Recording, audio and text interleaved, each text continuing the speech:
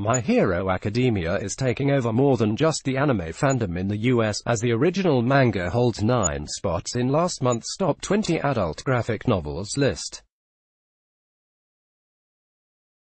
My Hero Academia Volume 14 was released on August 7, 2018 in English.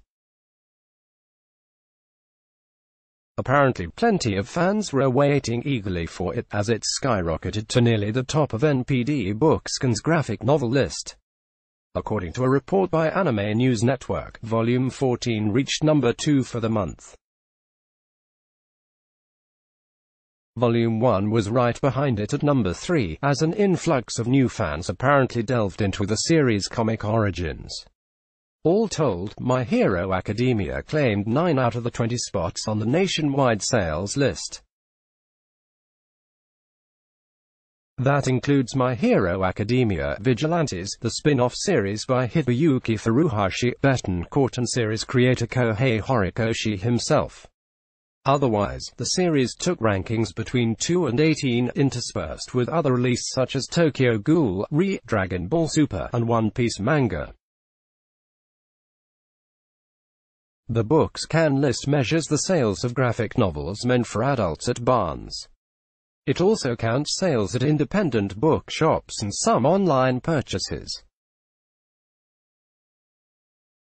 However, it cannot account for volumes bought on Walmart.com or a few other retailers, nor does it count sales at actual comic book stores. That will reportedly change sometime soon.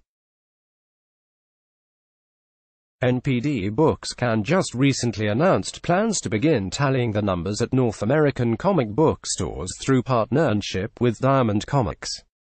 It may take up to a year to get this count going, however. Meanwhile, in Japan, fans had access to My Hero Academia Volume 14 back in June of 2017. The English language release is far behind its source material, and fans are itching to binge-read the acclaimed series.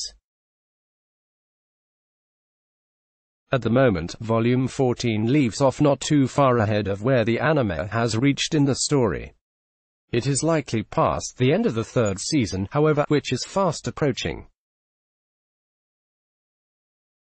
Zero comments the manga does take fans into exciting new territory, with a host of unfamiliar characters, both heroes and villains. In Volume 14, Midoriya strives to enter a work-study program with All Might's former protege Sir Nighteye, with the help of UA's top upperclassman, Mirio Togata. As if these school-sanctioned challenges were not enough, he is also introduced to a dangerous new figure in within the League of Villains, Kai Chizaki, also known as Overhaul. My Hero Academia Volume 15 hits the shelves in English on October 2, 2018.